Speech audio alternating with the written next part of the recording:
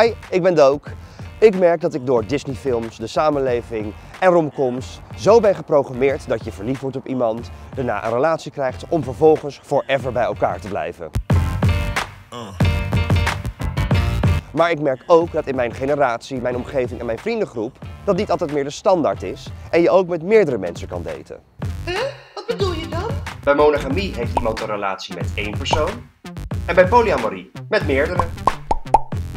Ik ga langs bij Isabeau en zij heeft geen relatie met één, niet twee, maar met drie mensen en is voorzitter van stichting Polyamorie. Oh, juicy. Zit maar goed? Ik ben helemaal schoor van de spanning.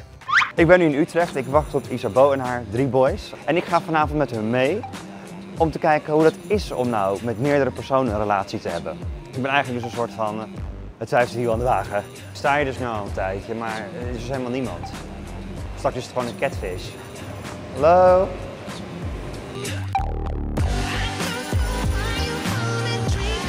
Hoe is de samenstelling tussen jullie?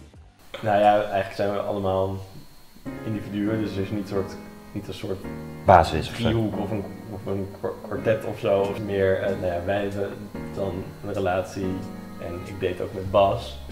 Ja, jullie hebben ook iets. Dat is niet aan elkaar verbonden of zo. Het is Nee. niet, Het is niet omdat Felix Isa date en ik Isa date, dat Felix en ik ook We hadden ook niks kunnen hebben. Ik, ik spreek niet met iedereen af waar Isa mee date. Ik bedoel, het zou niet, het zou niet in mijn agenda passen. Ik maak tijd voor mensen. Maar als ik dan bijvoorbeeld, als ik het dan even een soort van praktisch eh, zou zien. Hoe ziet dan, zou ik zeggen, een soort van je week eruit? Ik woon samen met Richard en wij hebben allebei onze eigen slaapkamer. Met allebei een tweepersoonsbed, dus dat is precies vier. Dus dat Ah, oké. Alleen het roleert dan wel een beetje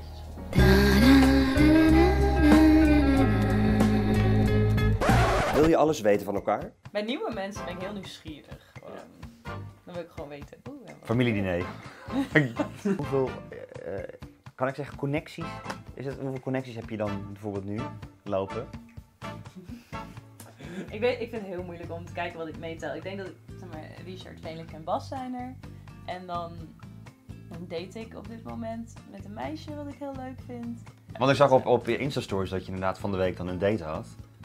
ja, klopt. En ik vond het ook heel schattig om te zien dat je daar ook nog heel zenuwachtig voor was. Oh, oh, ontzettend. Maar juist omdat dat dan iemand is die zelf wat, wat monogamer denkt Ja? en wat klassieker denkt. Ja. Dus dan denk ik, oh, maar hoe kan ik mezelf verplaatsen in de gedachtenwereld van die persoon? Ik raak meer in paniek, denk ik, van mensen die zelf niet polyamoreus leven of juist heel actief zeggen, oh, dat, dat, is, dat is niet mijn ding. Ja. En dan ben ik oh, maar hoe werkt dat dan? Nu moet ik weer voldoen aan de regels van you people.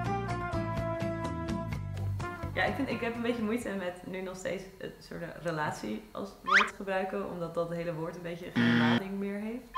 Vroeger zag ik een relatie als, oké, dit is één iemand en met, alleen met die persoon mag ik zoenen en seks hebben en daar mag ik verliefd op zijn en die, daar mag ik alles mee delen. Ja. Voor de rest mag ik al die dingen, niemand anders.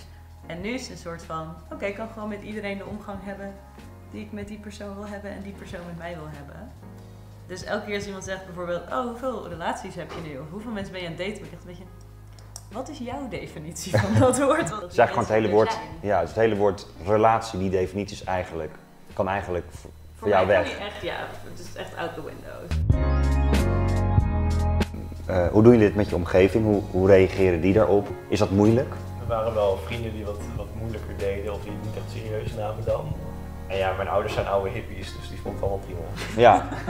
en is dat voor iedereen zo'n ouder zo? Die waren de eerste keer een beetje boos, maar dat was vooral omdat ik het heel laat pas vertelde.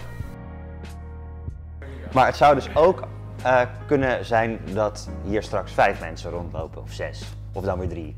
Ja. Oké, en is het dan, ben je dan ook soms niet jaloers? Ja, jullie niet. Nee. ik denk dat jaloezie een hele menselijke emotie is. Als ik jaloezie ervaar, dan ga ik bij mezelf heel erg te raden van ja, maar wat is het dan wat ik op dit moment blijkbaar tekort kom. Maar ik moet ook wel zeggen dat het bij mij ook wel meevalt de laatste tijd. nee, nee, ik heb ook Maar was dat niet zo dan? Ben ik ooit... Misschien met Nico. Ja, misschien toen wel. Ik denk dat ik namelijk echt zou ontploffen Maar ongeveer. waarover? Maar wat zou je erg vinden? Want daar gaat het om. Wat ik lastig vind, waarschijnlijk niet zou trekken als het meer zou qua seks, ik zou eigenlijk, eigenlijk denk dat het vaker op seks neerkomt. Dat Ja? mensen daar heel veel... Oké, daar heb ik dus echt verder niks moeite mee. Ja, dat is dan voor mij zo intiem, dat ik dat dan ingewikkeld, eh, denk ik, eh, vind.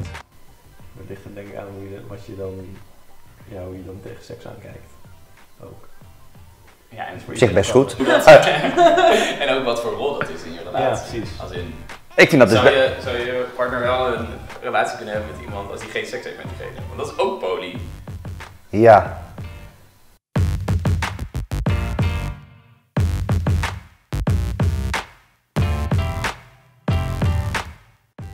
Hebben jullie dan ook vaak met meerdere mensen seks? Oeh, juicy. Ik denk dat, het, dat wij in een geloofsovertuiging zitten waarin het normaler voelt. Ja, natuurlijk, dat is wel waar. seks met meerdere mensen te Maar je kan ook, er zijn ook mensen die dus wel polyamoreus zijn, maar die niet ehm, dan een trio's hebben, maar die zeg maar een aparte relatie hebben en een aparte relatie.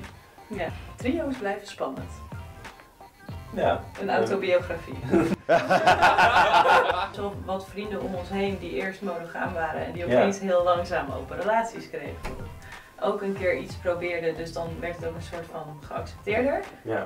En een deel van onze vriendengroep seks mee gehad, dat helpt Dat ook. Maar wij merkten vrij snel dat als wij allebei iemand leuk vinden, Dat dan prima dat we dan opties. van, nou, Ja.